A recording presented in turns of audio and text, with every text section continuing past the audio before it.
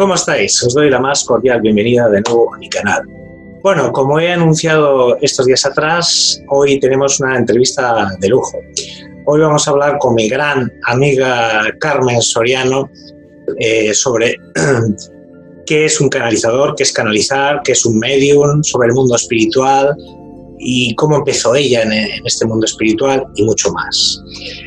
Tenemos a Carmen Soriano, creo que es en, Alicante, y vamos a, conectar ya con ella. Pues como os he dicho amigos, aquí tenemos a Carmen en Alicante. Carmen, ¿en Alicante estás? Sí. Carmen, cuéntanos cómo estás desde la última vez que hablamos. Buenas, pues la verdad que muy bien, con muchos avances, muchos proyectos y muchas cositas. La verdad que, de la última vez que hablamos a hoy, han habido muchos cambios en mi vida y muy buenos, todo muy positivo. Bueno, luego, luego más tarde, al final casi la entrevista, quiero que, me hables de los proyectos y las cosas que tienes. Pero ahora vamos a hablar de lo que nos trae. Hoy vamos a hablar de qué es eso de canalizar, qué es un canalizador, qué es un medio. Vamos a hablar del mundo espiritual, entender el mundo espiritual. Pero antes de, entrar en materia, nos gustaría, por favor, que nos cuentes cómo, cómo empezaste tú a darte cuenta que tú eras un canal, un medio, ¿Cómo, empezó esto? Háblanos. Pues es curioso porque desde bien niña, desde bien pequeñita, pues yo veía cositas en casa, veía eh, personas, personajes de mi estatura y me causaban miedo, hasta que llegó un momento en el que me di cuenta de que ellos me contaban cosas que luego pues ocurrían. Conforme creciendo, fui haciéndome mayor, pues fui como haciéndolos mis amigos, ¿no? Y a raíz de ahí fue cuando yo me di cuenta que yo era capaz de ver y de sentir cosas que, pues en casa, por ejemplo, no se veía ni se sentía.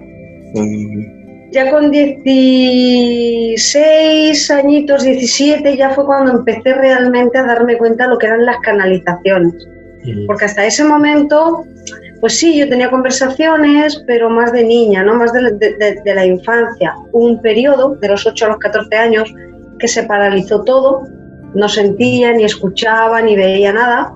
Y a raíz de esos 14 años como que volvió todo a despertarse. Entonces yo me daba cuenta que a lo mejor contaba un sueño, que para mí eran sueños, y luego efectivamente se, manifestaban, se hacían, se, materializaban.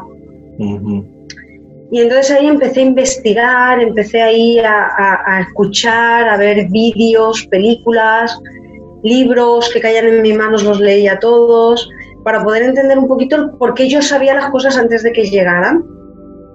Y me di cuenta también que había un ser que yo veía, un amigo mío, de los míos, que era el que más se comunicaba conmigo y el que más me decía lo que iba a ocurrir. Desde personas que podían fallecer a cosas positivas, a cambios de trabajo, cambios de viviendas, de todo, era de todo, ¿no? Y yo pues no llegaba a encajar y a entender qué era lo que ocurría. Hasta ese momento que como te digo, me di cuenta que era él el que me daba esa información. Entonces fue cuando empecé a, entender que era la canalización, que era recibir la información y darla tal cual a mí me llegaba. ¿Cómo, Carmen, cómo eh, reacciona tu ambiente, es decir, tu familia y tus amigos a, a esa nueva forma de, vamos a decir, de sentir, ¿no? Que empiezas a vivir. Pues fíjate que es curioso porque aún hoy en casa tengo diferencias eh, en, mis hermanas, porque ya mis padres no están, pero entre ellas hay quien todavía mm, lo siente y lo cree y hay quien pues mm, prefiere no saber porque le da miedo. Entonces, eh, cuando yo empecé a, a, decir pues que veía cosas, a la hora de la comunión pues dije una frase que, que, marcó mucho en mi casa, que fue que yo en aquel momento, sin saber ni tener conocimientos ni nada, llegué a casa de la catequesis diciendo que, que Jesús y María pues se habían casado y habían tenido hijos. Y no veas la que se montó en casa, vamos. ¿no? es verdad, lo dice la Biblia, que tuvo más hijos. Exacto, pero en casa pues se desconocía esa información y automáticamente pues mi madre en aquel momento, ay, no digas eso en la iglesia, que el cura no te va a dejar comulgar, que tenemos el traje, todo lo que ocurre, ¿no? Cuando pasan estas cosas. Oye, Carmen, en un libro que yo escribí, ¿Cómo nos pueden ayudar los guías espirituales? que participaste tú, entre otros, recuerdo que cuando hablabas de, tus experiencias, eh, se me quedó grabado algo y es que como que vistes un fraile en una iglesia o algo así, puede ser Sí. Un fraile, un fraile que ya había fallecido, ¿no? Exacto. En un principio yo iba caminando hacia la iglesia de mi pueblo, de aquí de, Almoradí. Iba caminando y resulta de que me encontré con una persona de frente que me llamó la atención. Y cuando cruzamos, me volví a girar y ya no estaba. Dije, jolín, pues sí que ha corrido.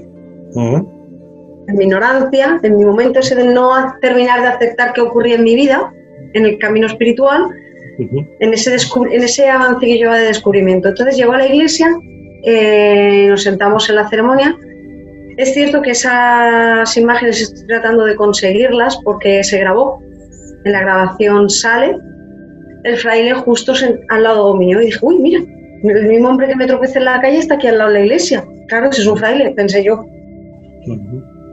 El fraile, pues evidentemente lo vio la cámara y yo, el objetivo de la cámara y yo. Nadie más en la iglesia conocía a ese fraile. Entonces, automáticamente yo, estando allí, como tenía tan cerquita, pues ya sí que estuve viendo, mirando e inspeccionando a ver quién era. Y lo más curioso es que me di cuenta que no llevaba calzados, no llevaba zapatos, iba descalzo. Y eso me llamó mucho la atención. Para mí eso también fue un toque de atención en decirme, Carmen, aquellas personas que vas a poder visualizar y no vayan calzados son seres de luz que vienen y se manifiestan en algún momento en, la parte terrenal. Oye, Carmen, eh, desde que canalizas o tienes contacto con el mundo espiritual, entiendo que tu vida cobró otra, otra forma, ¿no? A lo que era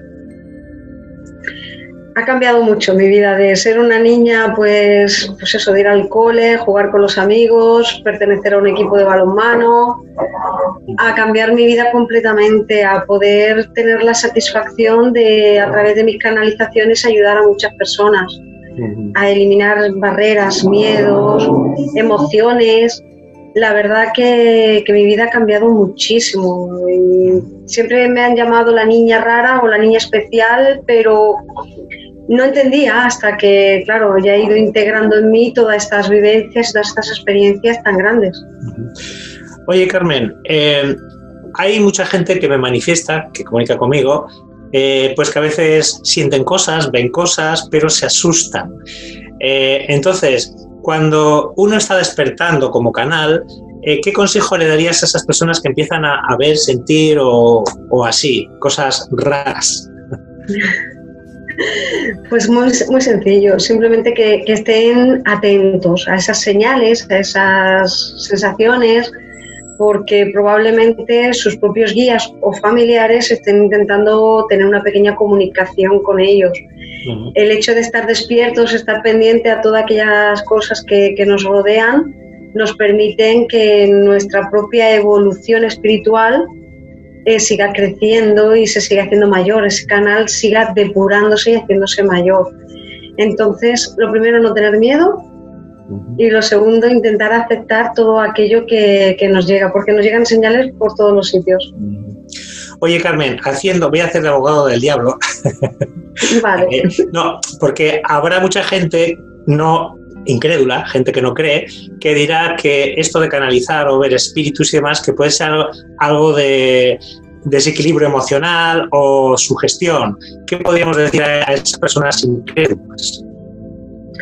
Vale, pues mira, yo, como te habrá pasado a ti y a muchos de nuestros compañeros, evidentemente nos hemos encontrado en nuestra vida siempre con alguien con esa incredulidad. Entonces, pues simplemente yo lo que les diría sería que igual que yo acepto que ellos no crean, pues tienen que aceptar el que esto también existe. ¿Por qué? Porque al final ellos mismos, estas personas que dicen que no creen, han tenido alguna experiencia que le va a llevar a creer en algún momento de su vida. Entonces yo a estas personas sí que les diría que estuviesen también atentos a ese despertar que todos tenemos, porque seguro que en algún momento de su vida hayan podido tener un accidente, una información, algo en su vida que les, ha, que les ha llegado desde el otro lado. Entonces, el decir no creo es muy sencillo, pero en realidad en el fondo es lo contrario. Carmen, ¿cómo podríamos definir para la gente que se está despertando y que está queriendo conocer esto, qué, palabra basada en tu experiencia, cómo podrías definir qué es un canalizador o, un medium? ¿Cómo, cómo, podríamos describirlo? A ver, eh, hay una gran diferencia, pero a la vez van de la mano, como yo digo.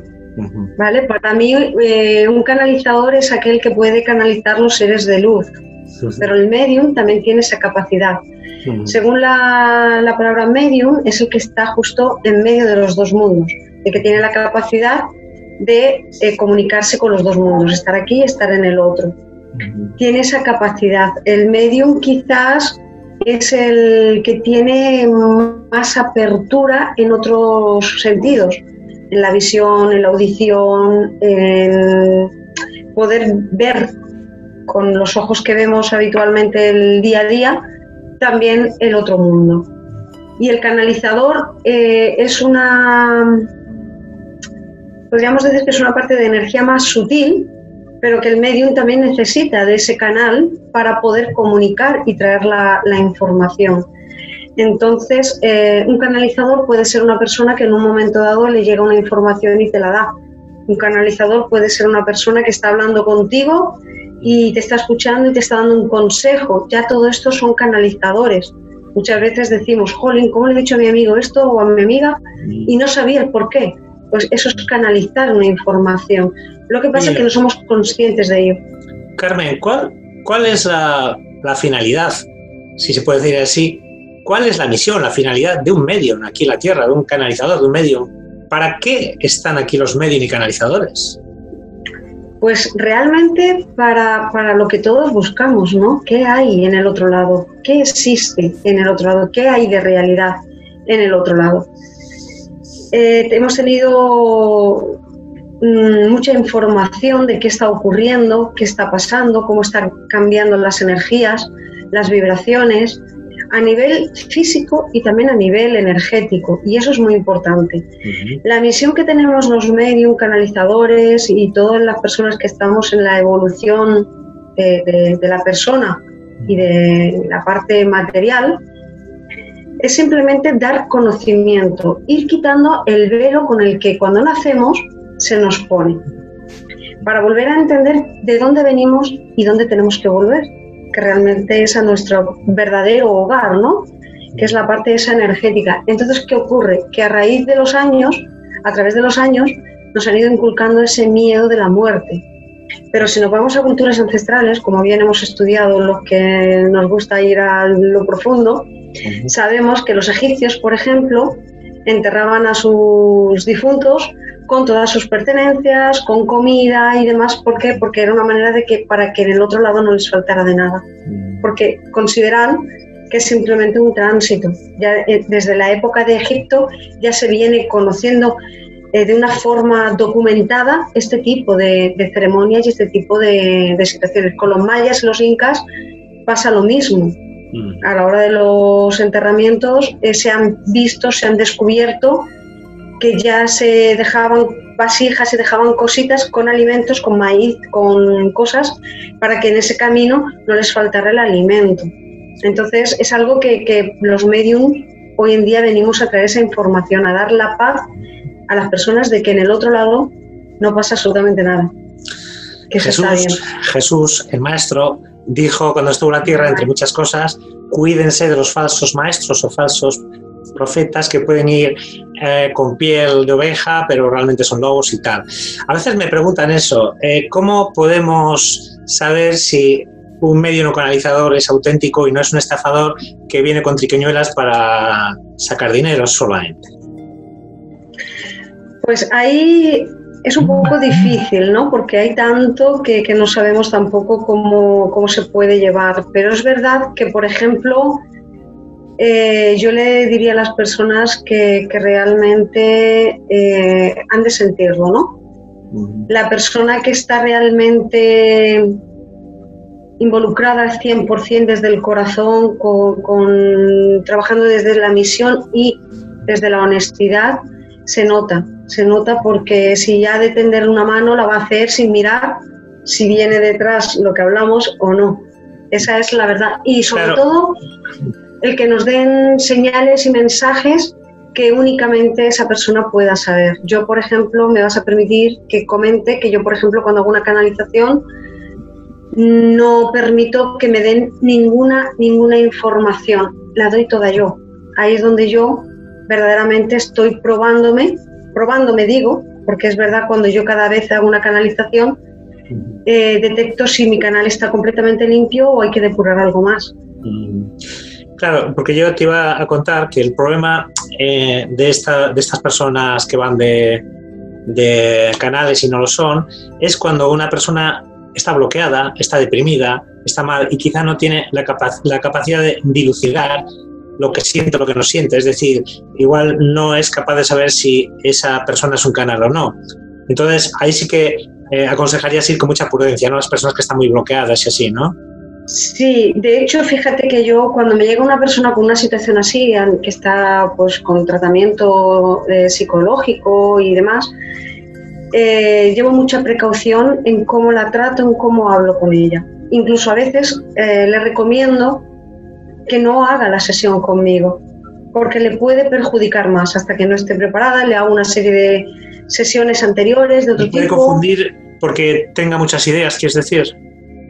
Claro, y que una información que le pueda llegar de algún familiar o de alguna canalización le bloquee más aún de cómo pueda estar en esa situación. Entonces, una persona que está un poquito perturbada, aunque no sea a nivel psicológico y tratada psicológicamente, es muy importante también que, la persona sea honesta y sepa decir, vamos a ver por dónde viene. A mí me han llegado casos en los que les he dicho, no, no, eh, tú necesitas profesionales de la medicina. Acude a ellos y después hablamos. Es, primordial ayudar desde el corazón y desde la realidad a una persona. Oye, Carmen, eh, cada, cada uno tenemos nuestra forma de trabajar, ¿no? Por ello te pregunto, tú particularmente, eh, ¿cómo, ¿cómo, haces tus sesiones de canalización? ¿Son automáticas? ¿Algunas no lo son? ¿Cómo, cómo canalizas tú con el mundo espiritual? Normalmente son automáticas. Eh, yo cuando voy a entrar en una sesión con alguien, pues automáticamente conecto con la energía de la persona y su propia esencia, su propio ser, me dice que necesita en este momento la persona que viene a, buscar esta ayuda, ¿no? Y a raíz de ahí empiezo a trabajar con ella. A lo mejor la persona viene con una idea, quiero trabajar esto, pero su alma me está diciendo que necesita primero dar un paso anterior.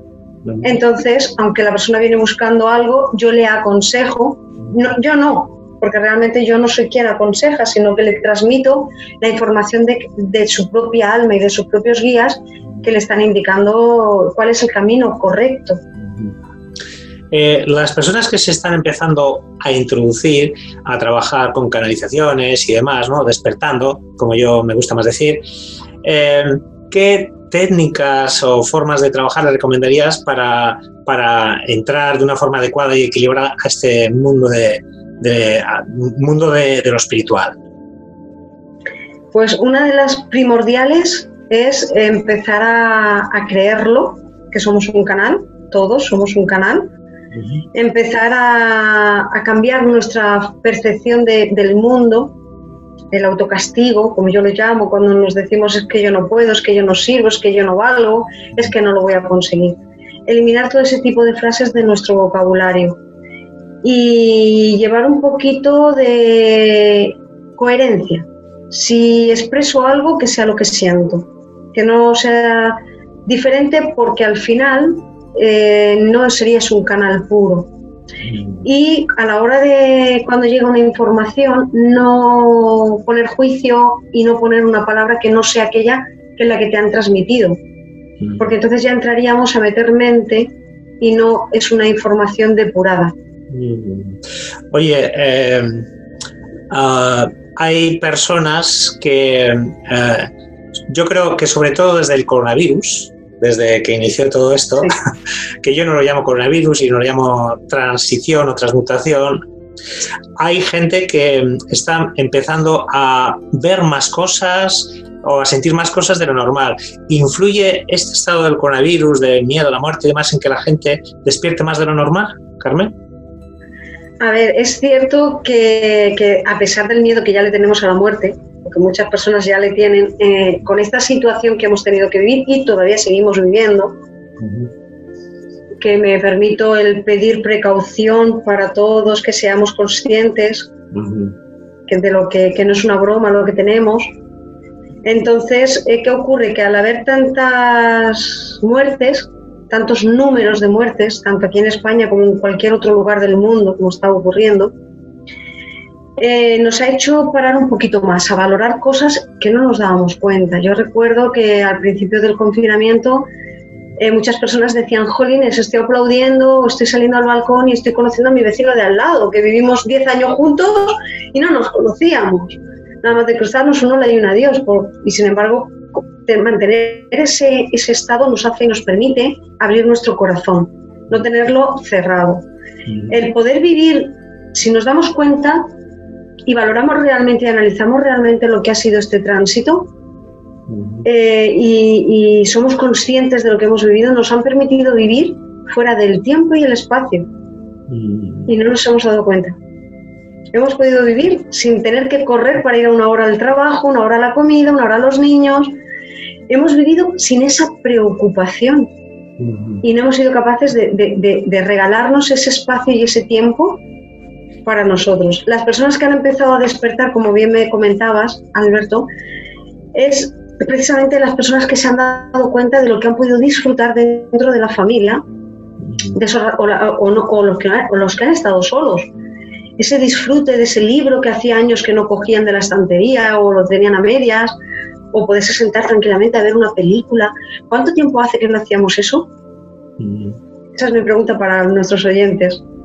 Oye, Carmen, has dicho antes eh, que todos somos un canal. Si eso es así, ¿por qué algunos ven y sienten y otros no? ¿Qué ocurre? Ahí está muy, muy claro. Eso es el nivel de conciencia de cada persona, ¿no? el nivel de cómo se vive. Si yo vivo en paz, feliz y no tengo preocupaciones más allá de las habituales en el día a día y no les presto esa atención que a lo mejor para otra persona es una montaña, yo para mí em, me doy cuenta de que el problema viene siempre con la solución. Si me quedo solo en el problema, no veo la solución. Las personas que están en ese despertar, que tienen esa capacidad, están en ese nivel, ¿no? De poderse dar cuenta de que si se ha cerrado una puerta, pero al lado hay otra que, está abierta y está esperando que pase. Entonces, ese motivo es el, despertar de cada persona que sea más amplio o menos amplio, o esté más despierto o menos despierto. Claro, digo esto porque hay algunas personas que emplean cierta expresión, es que yo soy medium de nacimiento. ¿Esto es correcto? Decir esto. A ver, eh, medio de nacimiento somos todos. El problema está en que algunos venimos con el velo quitado y otros vienen con el velo puesto. Esa es la, diferencia que hay. Y según lo que tú has firmado en ese contrato sagrado, de tus vivencias, tu misión de vida, que para este momento, esta vida que estás viviendo, pues evidentemente ese velo es más grueso o menos grueso. Y llegas a despertar o no. Carmen, eh, un, un, canalizador o un medio, ¿con quién canaliza? ¿Con quién? ¿Con ángeles? ¿Con seres que han partido? con quién canaliza? A ver, eh, se puede canalizar con ángeles, con seres familiares, con maestros ascendidos, con seres mucho más elevados, eh, incluso los familiares, que son, digamos, los que quedan un poquito en otro nivel, más cercano a nosotros. Incluso a veces podemos canalizar seres que, que no tienen luz, que están un poquito perdidos por las circunstancias que se han podido marchar en las circunstancias que se han podido marchar y por los motivos que se han marchado. ¿no? Entonces, eh, un canalizador medio tiene todas esas capacidades. No existe, creo yo, y no conozco de momento nadie que solamente canalice una parte únicamente. Otra cosa es que a mí no me gusta a lo mejor canalizar seres sin luz porque me puedan transmitir alguna sensación emocional y yo decida por mí misma cerrar esa puerta. Pero en realidad un medio y un canalizador eh, tiene la facultad de poder canalizar desde lo más elevado a algún ser que no pueda tenerlo. Porque ahora que has dicho estos seres sin luz, también hay mucha gente que dice que tiene miedo a canalizar por miedo a que un demonio o un ser oscuro, como lo quieras llamar, le pueda atacar. ¿Qué se, puede, se le puede decir a esto? Bueno, realmente para eso, mira, por ejemplo, tenemos herramientas para conocer qué tipos de espíritus existen, cómo son, ya saliéndome un poquito de la parte de los maestros, de los ángeles, de los guías, saliéndome de esa parte y de los familiares, por supuesto, yéndome a la parte que estás comentando. Cuando tú conoces qué tipo de espíritus son los que nos rodean, eh, ya no tienes por qué tenerle miedo, es simplemente un espíritu que, que simplemente viene a hacer lo que sabe hacer o hacía en vida. Únicamente pues hay que darle conocimiento de que ya es espíritu y que ya no puede hacer más allá que, que buscar la luz. Entonces, las personas que, que, puedan tener miedo a este lado, a esta parte más oscura, decir que existe, no podemos negar que no exista, porque todos sabemos que esa parte está ahí. También es cierto que muchas veces la, la, parte de la persona que mueve ese tipo de energía, evidentemente es una persona también oscura de alma, como yo la llamo, y no es un ser de luz, porque un ser de luz que le llega un espíritu oscuro, evidentemente le va a, dar la posibilidad de que cambie al lado de la luz. Entonces, que no hay que tener miedo, simplemente tener el conocimiento de cuántos tipos de espíritus hay, que hay muchos y diferentes, y hay que conocerlos cuando realmente quieres comunicarte con ellos. Oye, Carmen, hablando de los guías espirituales, se dice que todos tenemos un guía principal, dígase ángel de la guarda o no lo sé. ¿Quiénes son los guías espirituales y cómo nos pueden ayudar?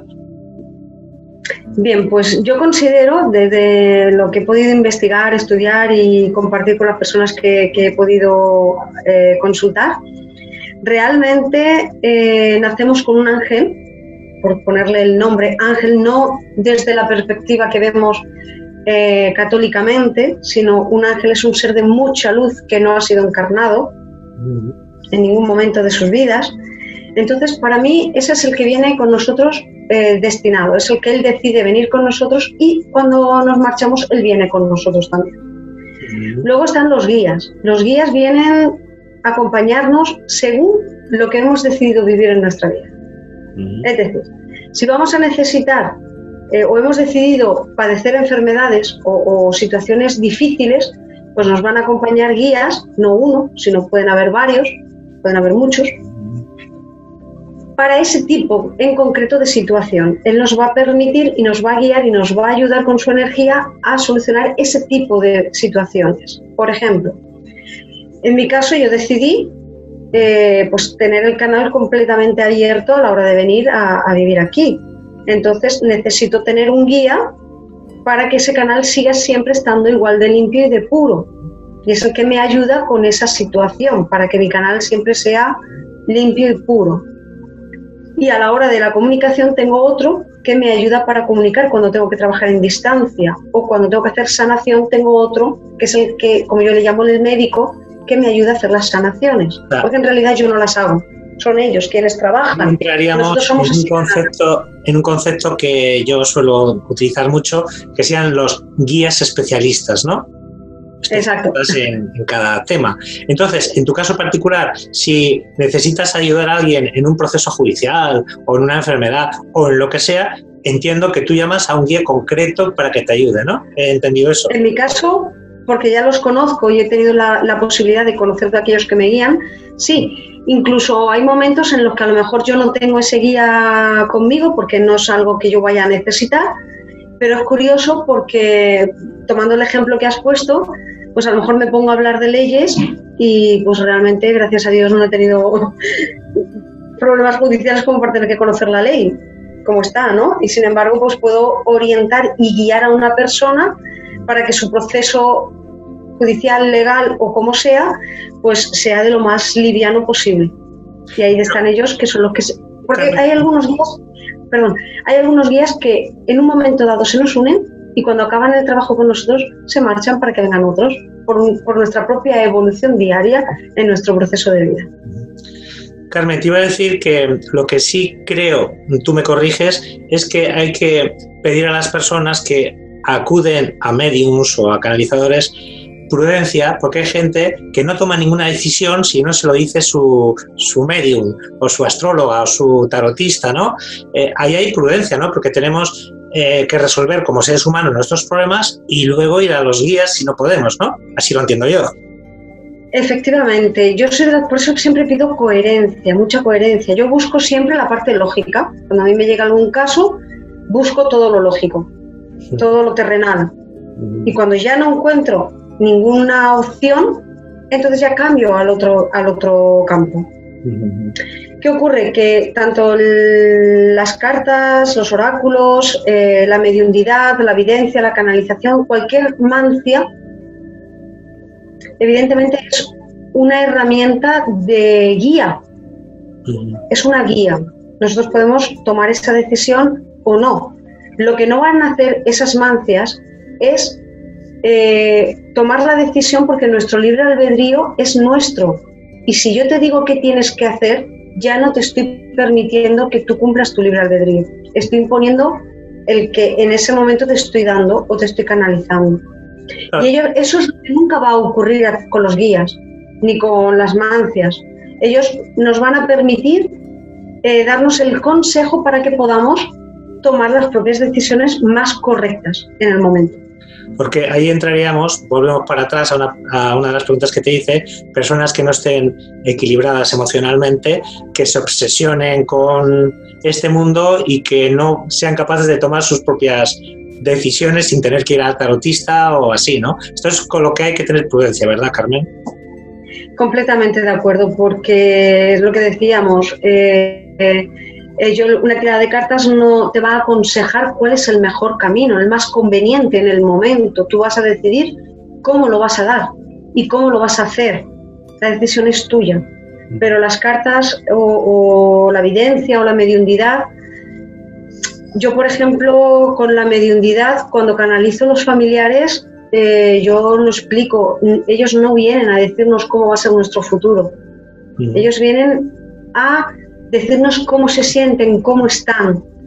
Porque estaría incorrecto, tanto para el que consulta como para el guía que pueda responder, es, mm, ¿es conveniente que me case con Pepito?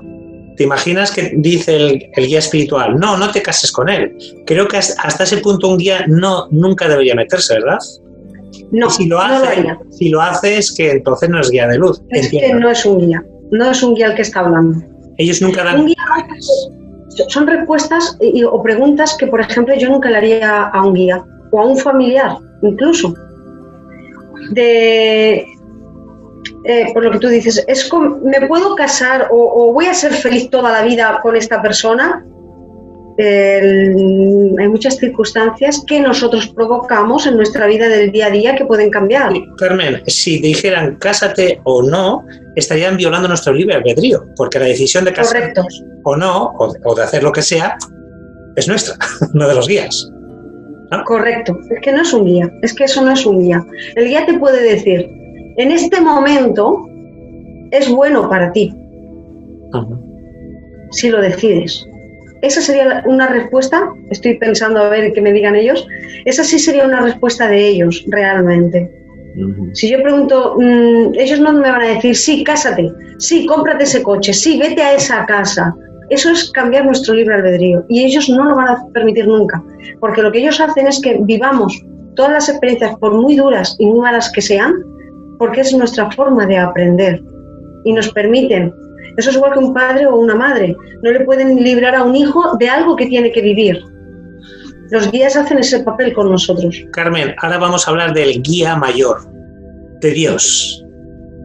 ¿Quién es Dios y qué papel eh, tiene a la hora de, canalizar un guía? Que, porque claro, estamos hablando, podemos canalizar con ángeles, con seres que han partido, con maestros ascendidos. ¿Y con Dios? ¿Cómo y cuándo? Bueno, eso es una energía, como tú bien dices, superior, ¿no? Y es una energía que abarca todas las demás energías. Desde mi punto de vista, esto voy a hablarlo desde mis conocimientos y mis experiencias. Para mí Dios es eh, toda la energía en una. Igual que todos vivimos en, en un planeta que se llama Tierra, por poner un ejemplo para que nos puedan entender bien, pues es tan sencillo como, entender que, Dios es toda la energía de todo lo que hemos hablado anteriormente, tanto desde la parte más terrenal con alma, como la parte más física materia, hasta lo más sutil, lo más supremo que está a su lado, que realmente los maestros vienen de su lado, los ángeles, los arcángeles están a su lado. Son, digamos, sus pequeños ejércitos que él utiliza para que nosotros vayamos guiados. Pero realmente para mí no sé si en esto estarás de acuerdo o no, cada uno puede tener su propia opinión, pero para mí es la unión de toda la energía, es la madre de todas las energías, de todos los niveles. Eh, me atrevería hasta incluso decir que si existe en algún otro planeta, como se está pudiendo ver y demostrando alguna vida, esta energía llamada Dios también le pertenece esas otras vidas. Es decir, es lo que abarcaría todo a nivel energético, desde mi punto de vista, claro. Carmen, cuando canalizas con Dios, ¿cómo le sientes? ¿Cómo es Dios para ti? ¿Cómo, qué, Háblanos, esa experiencia con Dios. Tú y, tú y pues Dios. como tú me conoces, sabes, yo cuando canalizo una energía tan bella como puede ser la de un maestro o la de Dios, que es la que me estás preguntando, realmente es algo que a veces eh, no se necesitan palabras. Eh, son sensaciones y, no hay palabras muchas veces para poder describir esas sensaciones. Es una paz. Es como, como pegarte un viaje extraordinario. No sientes tu cuerpo, eh, es todo luz. No, no, no se puede decir hay una silueta, no, es todo luz. Y es una, a mí hasta incluso ha habido veces que esa energía tan poderosa, tan grande, tan bella, me ha dado hasta palpitaciones, se me ha acelerado el corazón de, lo bello y de decir es que no cabe todo eso en mí. Mi cuerpo es muy pequeñito para recibir todo este, esta gratitud, esta, eh, eh, es que es, algo extraordinario, es, que no, hay veces que no tengo palabras para poder describir algo así. Carmen, vamos a hablar de algo que, trae de cabeza a media humanidad y casi, casi la otra media, la muerte, la incógnita de la muerte. Uno de los papeles de los medios es el de contactar con los que ya no están aquí, ¿verdad? ¿Cómo, cómo podríamos definir eh, qué es la muerte o cómo podríamos explicar que hay vida después de la muerte? Como tú quieras responder. Bueno, pues voy a empezar por el primer proceso que es el de la muerte, ¿no? Que es para poder ver la vida después de la, de la muerte, primero tenemos que pasar ese proceso. Entonces, pues voy a empezar por este, ¿no? Porque la muerte es simplemente, mira, eh, se lo explicaba esta mañana, ayer, perdón, a una chica, y es que la muerte es algo material realmente, porque nuestra propia esencia, quienes somos realmente, continúa. Y la prueba está, la prueba está en cuando un familiar, voy a poner un ejemplo bastante claro, cuando un familiar viene a comunicarse, sigue viniendo su esencia. Sigue viniendo como era. Si era una persona que tenía un carácter muy recto, sigue trayendo esa sensación, ese carácter. Mm. Si era una persona muy amable, muy cariñosa, sigue trayendo ese carácter. Esa esencia que es esa persona. Entonces, cuando ocurre la muerte, ese momento de la muerte, simplemente es eh, que dejamos una parte materia. Y una pregunta que me hace mucho, Carmen, una pregunta que me hace mucho es eh, ¿por qué algunos que han fallecido se quedan vagando por aquí, vamos a decir así, vagando, y, otros ya directamente van a, a casa o al cielo o donde tengan que ir? ¿Por qué algunos se quedan así como por aquí, todavía como de visita? Es fácil, es fácil. Muchas veces el apego, sobre todo el apego, tanto del que se ha marchado como el que se ha quedado. Puede, ser, perdona que te corte, puede ser apego y resentimiento también. Gente que no haya eh, cerrado ciclos o no haya solucionado problemas o así. Pregunto, ¿eh? Completamente cierto, porque eh, muchos momentos muchas personas necesitan comunicar con sus familiares precisamente por ese tipo de motivos. Mm. Porque tienen un sentimiento de culpabilidad, un sentimiento... y los familiares que se han marchado igual. Entonces, Carmen, ahí el medio hace un papel importante para mediar, valga la expresión, para que ese espíritu, para que esa persona se eleve, ¿verdad? Exacto. Una vez que, que la persona que se queda aquí, que está pasando su duelo, su, todo el proceso que conlleva él, el propio duelo, toma conciencia de que ya, digamos, o ha pedido perdón o, le ha dado las gracias o ha podido decirle a ese familiar que ya no está aquello que se le quedó sin decir o sin hacer, y el familiar que está fallecido le dice o, también le pide perdón y todo ese tipo de cosas, es una liberación que se corta ese apego y entonces eh, eh, el espíritu que está vagando, como decíamos, evidentemente ya coge y toma su luz. Tiene que pasar un tiempo también. Otra pregunta que me hacen, y esta es muy difícil, pero sé que tú vas a saber responderla, me preguntan, ¿qué pasa con los bebés no nacidos? O con los bebés que han vivido unos días, una semana. Eh, ¿Tienen espíritu? ¿Qué, ¿Qué ocurre con ellos? A ver, es un tema difícil y precisamente ese es el el tema principal que el año pasado toqué eh, en el Congreso y toqué muchas almas, como ya dije en Es verdad que es un tema muy delicado porque el primer sentimiento de la madre es culpabilidad, sea por algo que haya sido natural o por algo que haya tenido que ser provocado. Pero el primer sentimiento de la madre es la culpabilidad. Y realmente el alma de ese niño, de ese bebé, eh, viene y pacta vivir ese tiempo, esas horas, esos minutos, esos días. ¿Por qué? Porque algo tiene que, darle de aprendizaje a esa madre o a ese entorno de familia. Mm. Porque es difícil de comprender, ¿verdad? Cómo un bebé que ha vivido un día, unas horas, pueda dar ninguna enseñanza, ¿no? Nos cuesta comprender esto. Sí, es muy difícil de entender, pero realmente viene así él ha decidido vivir unas horas porque era lo que necesitaba para seguir su propia evolución también en el otro lado, porque en el otro lado seguimos evolucionando conforme vamos aprendiendo y viviendo aquí. Oye, Carmen, si nos vamos al tema también profundo de la reencarnación, vamos a ver si es un supuesto. Eh, una persona eh, ha muerto como Pepe o como María, ¿vale? Ahora decide con un pacto con Dios, volver a reencarnarse, por lo que sea. Entonces, eh, un medium ya no puede llamar a Pepe o a María, porque ya no están como Pepe María, se han reencarnado en otro plano, ¿no? Porque da la sensación de, a veces, de que eh, todo el mundo piensa que todos los eh, seres que han partido están accesibles. Pero, ¿esto es así? ¿Todos están accesibles o los que se reencarnan no? A ver, una vez que ya están reencarnados, ya no están accesibles, pero una vez que tú llamas al alma, a esa parte de esa esencia, que se llamaba Pepe, puede venir a dar una información. De hecho, eh, sabes que, hay mediums que tienen capacidad de comunicarse con personas que todavía no han fallecido. Ahí, ahí va a entrar yo, era mi siguiente pregunta. ¿Me la has leído? la he leído. Me la han chivado. Ah. Es verdad que por eso muchas veces cuando... Y luego el tiempo de reencarnación es, mm, diferente. En el otro lado no hay tiempo y espacio, como dije antes, pero eh, pueden pasar lo que para nosotros es un año, eh, para ellos es, no hay tiempo. Pero sí es cierto que pueden pasar muchos años hasta una próxima reencarnación. Años terrenales pueden ser 100 o 50 o, 300.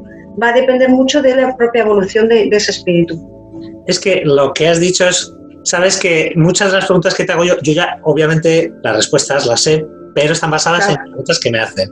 precisamente hace dos o tres días, un papa de México, pues bueno, me contó una larga historia y en resumen me decía que lleva como, no sé, 20 años o algo así sin poder hablar con sus cuatro hijos y él le sigue amando. Entonces me preguntaba a mí si él de alguna manera o yo podíamos comunicarle, comunicar al espíritu de sus hijos vivos lo que él estaba sintiendo.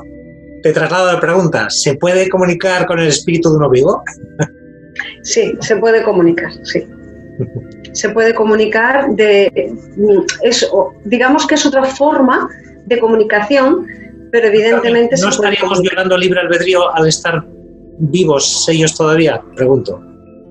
Sí, pero por eso mismo ahí también está el libre albedrío del espíritu que quiera comunicación, ¿no? Ah, vale, vale, correcto. Yo puedo intentar comunicar, pero si eh, en realidad eh, no hay una comunicación, pues evidentemente no va a decir nada. ¿Por qué? Porque a lo mejor ellos están en la misma situación que el padre, que quieren hablar con él y, por circunstancias pues no toman el camino hasta que llegue el momento y lo hagan. Pero sí es cierto que por, hay, por eso te decía, hay algo diferente que sí que tú puedes pedirle que en un momento dado, cuando sea necesario, sea el momento adecuado, se pueda comunicar contigo físicamente. Oye, Carmen, casi, casi para terminar, yo sé siempre que, igual que yo, tienes ya tus días parlanchines, bla, bla, bla, bla, bla. yo, sí, te digo porque los míos están siempre así, hablándome, ¿no? Yo a veces, hasta delante de mi esposa, digo, ¿nos podéis dejar un poco de intimidad? No, cariñosamente. Oye, como yo sé que están ahí parloteándote, ¿qué mensaje, consejo eh, pueden eh, dar a las personas que no están viendo tus guías, Carmen? Pues a ver, realmente lo que me transmiten y me hacen llegar es mucha paz y mucha tranquilidad. Mm. Que podamos eh, sentir nuestro propio amor, que es importantísimo, me dicen, que, que, volvamos a sentir nuestro propio amor para poderlo dar a los demás. Desde la parte de, de poder comunicarse con nosotros a través de sueños, a través de, de ese tipo de, de señales que cada día nos transmiten, que seamos capaces de, poder amar aquello que nos ha hecho daño, porque ahí es donde viene la verdadera evolución, la verdadera felicidad. Lo único que transmiten y quieren que llegue a todo el mundo es que el único camino para salir de todo es el amor. Cuando se tiene amor se sale de todo y se lleva todo con mucha más ligereza y con mucha más libertad. Carmen, quiero que me hables de ti, de tus proyectos actuales, qué estás haciendo, qué vas a hacer. Cuéntamelo todo, por favor. Bueno, pues eh, digamos que estoy preparando formaciones para ya en breve poder estar con, con, todas las personas, tanto a nivel online como a nivel ya presencial, ya que nos están permitiendo un poquito esa parte también, siempre cuidando todas las medidas de seguridad hasta que esto pase. Y digamos que el proyecto más, más, más gordo ya está en marcha, ya va a empezar esta semana a ver la luz. Y es el congreso que tengo preparado para el 3 de octubre, que precisamente vamos a tocar ECMs, experiencias cercanas a la muerte, qué hacer justo antes de, de, morir, qué debemos hacer o qué queremos vivir antes de morir. Carmen, ¿se hará allí en Alicante? Sí, se va a hacer en Elche. Vamos a tener ocasión de poderlo vivir presencial y lo vamos a poder vivir también a, través de online, ya que tengo el equipo preparado para ello también. Por streaming. Por streaming, sí. Alguien que quiera saber de Carmen, conectar, contactar con Carmen, pedir los servicios de Carmen, porque Carmen es consejera espiritual, maestra de Reiki, medio canalizadora y además das formación. Alguien que quiera contactar contigo, ¿cómo puede hacerlo, eh, Carmen? Pues muy sencillo, a través del teléfono 660 32 92 01. Con el más 34, si llaman de fuera de España. Ese todavía se me olvida, ese tengo que empezar a incluirlo. más 34, más 34. Más 34, 660 32 92 01. Luego a través de la página de Facebook que tengo, como Carmen Soriano, siempre me tienen que buscar con cada kilo. Eso es. Con cada kilo siempre y a través del email eh, por Instagram también estoy como Carmen Soriano 7, que es un número especial para mí. Y ahí ya pueden comunicar conmigo y a través de cualquier medio. En, la página de Facebook está el, email, está toda la información que, que, pueden ellos y en breve saldrá ya, que ya está en marcha, está en proceso, la página web con toda la información más ampliada. Muy bien. Carmen, te lo he dicho muchas veces, a que sí, porque ya no sé cuántas veces te iba a decir te he entrevistado. Hemos hablado, no sé ya. Hemos hablado. Muchas veces. Pero te lo vuelvo a decir, que hablar contigo eh, es un placer, porque como hemos hablado tú y yo a veces en privado, pues que hay personas que son más accesibles, otras más cerradas. A ver, cada uno somos como somos. Yo no vengo a juzgar a nadie, ¿eh? pero lo cierto es que tú eres muy accesible, muy de andar por casa, muy cariñosa y pues eso se valora. entonces pues tengo que darte las gracias una vez más por ser como eres y por eh, atender cuando yo te llamo. Oye, que te quiero, eh, quiero que mm, entrevistarte y tal. Tú, venga, sin problema. Esto también es bonito, ¿no? Porque hay gente que dice, no, ya no me apetece o no puedo, pero Carmen siempre está accesible. Así que eso es de agradecer. De verdad, muchas gracias, Carmen. Gracias. Gracias a ti por, por permitirme estar un ratito contigo, sobre todo porque me encanta hablar contigo, como, como ya te digo y poder tener la oportunidad de poder ayudar a muchas personas que nos escuchan con tus preguntas, con mis respuestas o viceversa. La verdad que, que para mí es un elogio, ¿no? Poder compartir contigo este ratito y poder ayudar a, esas almas que están un poquito, que no saben qué camino coger. Para mí es todo un honor y, mil gracias y sabes que, que, aquí estamos para lo que haga falta. Carmen, un beso fuerte desde Bilbao, te lo envío hasta Elche, hasta Alicante. Gracias, cuídate. Gracias a ti. Cuídate.